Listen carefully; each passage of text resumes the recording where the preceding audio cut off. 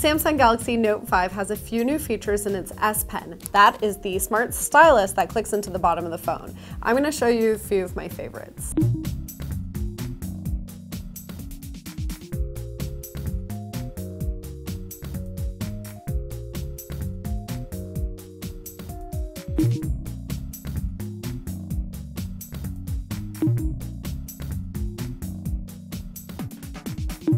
The first one is called off-screen memo. It means that when your screen is turned off, you can still pull out the stylus and write yourself a note. You do not have to turn on the phone to do so.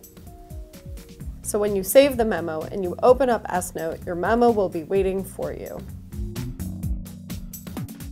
Feature number two is the redesigned Air Command wheel. That's what this thing is called, and this basically gives you all of the controls for your S Pen. So you click that open and you've already got tools for action memo, that's like a little sticky note. Smart select, that's kind of like cropping and screenwriting, so that's taking a screenshot and writing all over it. But you can add three of your very own shortcuts, you can choose what they are. So I'm gonna go for Chrome and Facebook and the gallery app. So the next time you open it up, you've got your three customized favorites and the other three.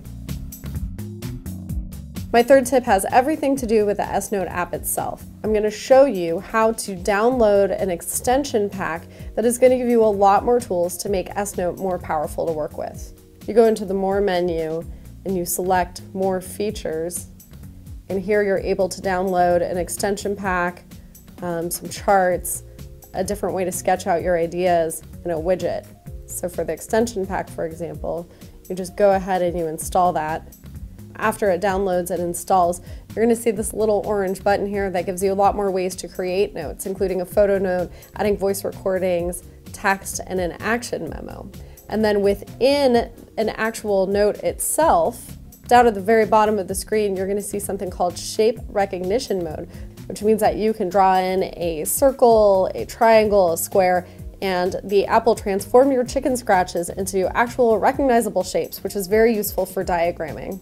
You've also got magnify mode down here on the bottom, which lets you zoom in on an area and helps you get really precise when you're drawing something very fine.